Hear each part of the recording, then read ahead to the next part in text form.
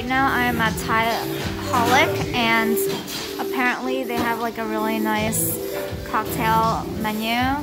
Their signature cocktails is really reasonable. It's $10 and if you want it extra strong it's only 13 I actually got the lychee mojito and the tipsy. So let's see how this goes. This one is the lychee mojito. It's well presented and then also this one's the tipsy. They're all made with premium sake apparently, so. As you can see, they light up my drink. It's very refreshing and I, I could really taste the lychee syrup and the mojito basil. It's really, really good. Very, very. The chicken curry from Thai Holic, full of chicken. Let's see how this tastes a little bit. I'm just gonna grab a piece of chicken and see. Calamari, the small ones. Yep. And calamari. Ooh, small looks pretty big actually. Mmm, chicken's good. And now I'm gonna grab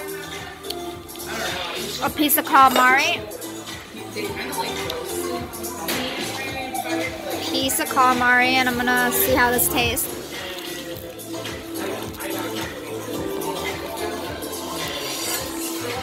Um, this is really good. Thick piece of calamari, light brown. This drink is so bomb Then I got another one, and it pairs well with the curry and the calamari. Everything is really good here at Thai Holic. I definitely recommend you come here. The food is good and the price is very reasonable. They don't have a happy hour, but the drinks are only like $10 each, so definitely check it out. Calamari is extra spicy, um, extra crispy and thick, and it's a really good proportion. So I'm back at Thai Holic, and their food is so amazing that I'm coming back for the second time. Uh, now I'm gonna try their entrees. Last time I came here for the drinks and basically the appetizers, and now I'm gonna talk about their entrees. I'm excited and I'm gonna take it to go. Hi, so this is the three things I ordered and I'm going to uh, tell you one by one what I ordered and then uh, describe and do a taste test and then tell you what it tastes like, is it good, and would I recommend you coming here. So this is the crab um, basil fried rice, loaded with crab, egg, and basil rice with a side of uh, lemon and cucumbers. This cost about $15. It's not that expensive and right now I am going to try it out and see what it tastes like.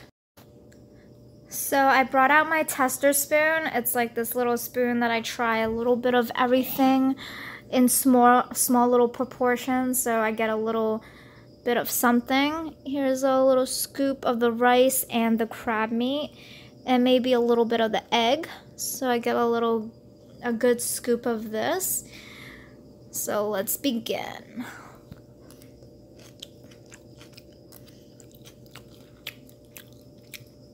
Okay. So the crab meat is super tender. The rice, the, the basil rice is very flavorful. Wow. This is a really good um, basil fried rice, I might say. Um, this is one of their special dishes. Um, you could also get it without the crab meat. Obviously, without the crab meat, it will be a cheaper cheaper alternative. But with the crab meat, it retails. I wanna I wanna say it costs about twenty something but it's really delicious. The crab meat is tender, the rice is cooked perfectly and well seasoned. I highly re recommend this. The the crab uh, basil fried rice. Out of 1 to 10, I will rate this a 10. Next, I'm going to talk about this beef um, pineapple curry. So it has bell peppers, pineapple, and onions with beef. This curry is looks really delicious. It's only $15 and I'm going to just try some of the sauce and see how the flavor it is and Wow. Okay, so it's a really creamy texture. The spices is good. It's not too overwhelming. It's well balanced. I'm going to also try one beef just to see like what it tastes like. These are big, big chunks of beef, by the way. So I'm trying to find like a small one because I'm not, I don't want to, so, okay. The beef is really tender, juicy.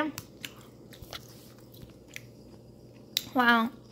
Um, this is very flavorful, but even though the beef is tender and juicy, it's somewhat dry.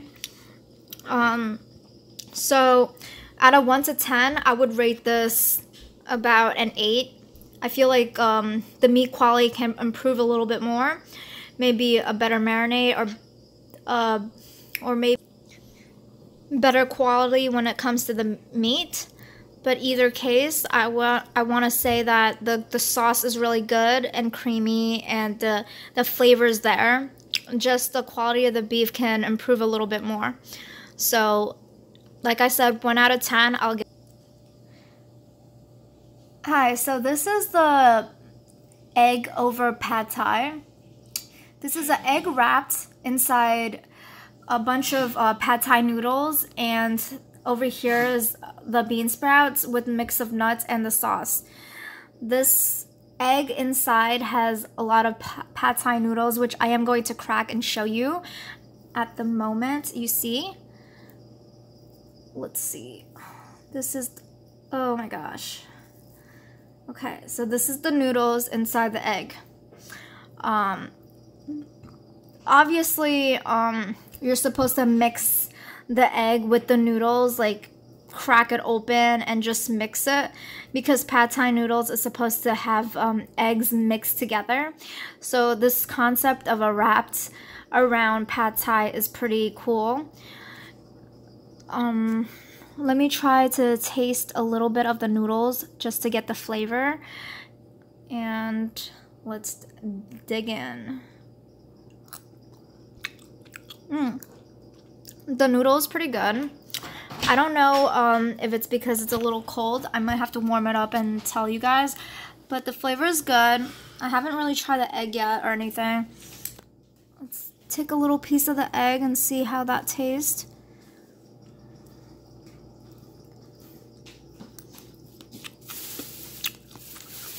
The egg's good. I mean, you can't really mess up egg. But out of all three of these things, oh, by the way, I totally forgot. Out of 1 to 10, would I order this again? I want to say an 8 as well. Because I this is one of the colder items, so I'm not sure if this is up to the full potential of what it's supposed to be. But so far, it's not terrible, but it's not great. Um, out of all three of these things, I think my top favorite is basically the basil crab crab meat um, fried rice. And my second favorite will be the curry with beef with pineapples. And my third would be the pad thai and over with eggs. So let me know what you guys think. If you have any questions, please leave a comment below. Um, if you like this video and if it's helpful, please like and subscribe. Thank you. Have a lovely day. Bye.